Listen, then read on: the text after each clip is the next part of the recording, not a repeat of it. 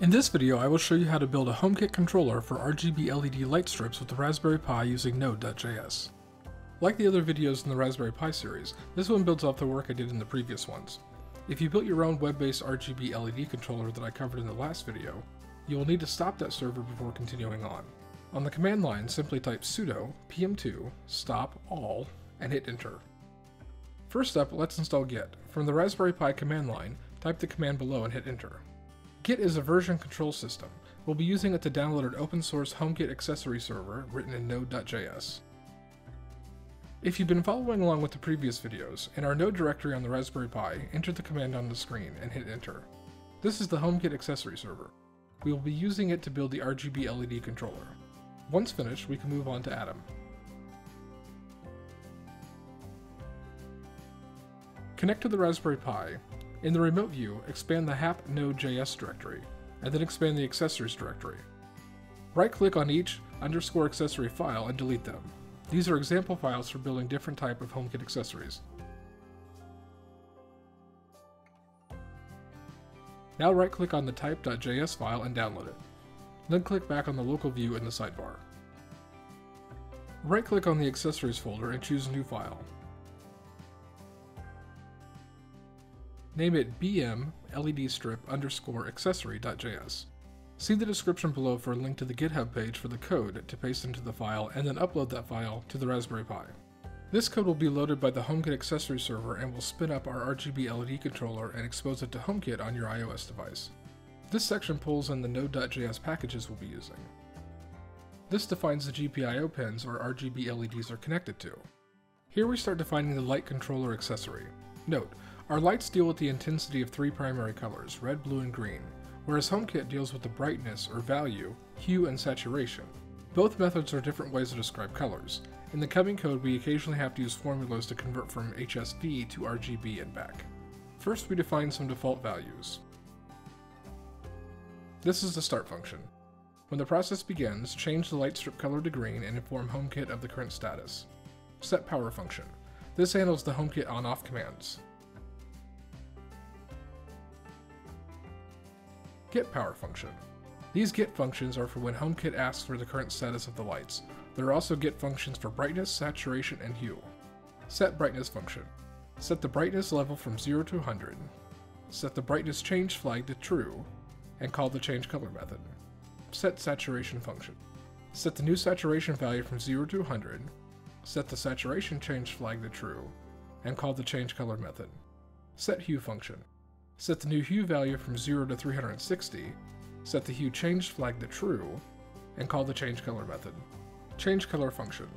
Since saturation and hue are submitted separately by HomeKit and we need both values to calculate the new RGB settings, we call this function each time saturation, hue, and brightness have been changed. We only run the code though when either hue and saturation have been changed or brightness has changed. The rest of this function is performing the conversion from HSV to RGB, changing the lights to the new color, and setting the change flags back to false. Color changed outside of HomeKit function. We don't actually need this right now, but we will in a future video, so I went ahead and wrote it. This converts a new RGB value into HSV, changes the colors of the lights, and calls the inform HomeKit function. Most of this code here we can ignore. It's basically further defining the HomeKit accessory, what the capabilities are, and how to handle messages to and from HomeKit. Inform HomeKit function. This function pushes to HomeKit changes that were not initiated by HomeKit.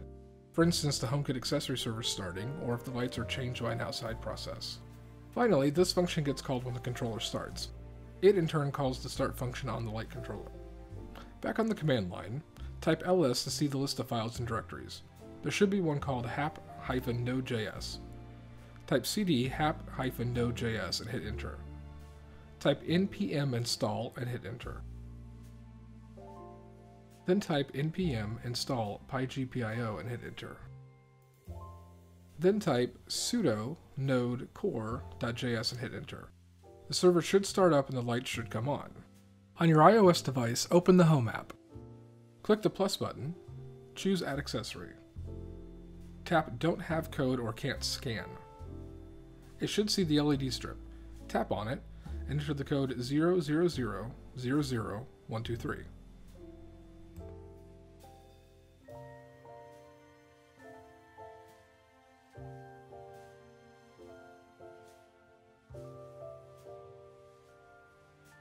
Once the light strip has been added, you should be able to change the colors, adjust the brightness, and even use Siri to control the light strip.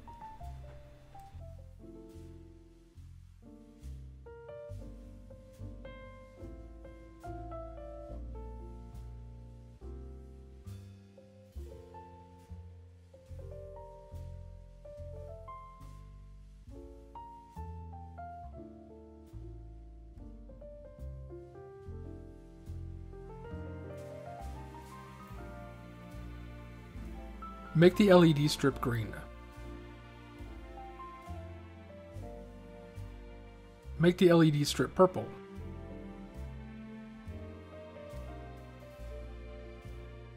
Turn off the LED strip.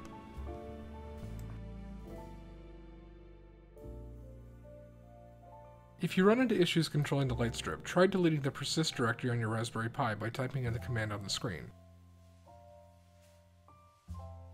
Then remove the light strip from HomeKit by going into its details and tapping Remove Accessory. We can use PM2 to make the HomeKit accessory server start every time the Raspberry Pi boots, just like we do with the web-based controller. Bring up the list of PM2 apps. You can see the web-based controller server is stopped. Let's add the HomeKit script by typing sudo pm2 start core.js and hitting enter. Next type sudo pm2 save.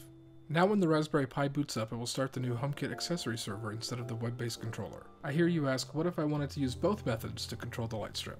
Fear not, that's coming in a future video. Well, that's it for this video. If you enjoyed it, please give it a thumbs up and share it with friends.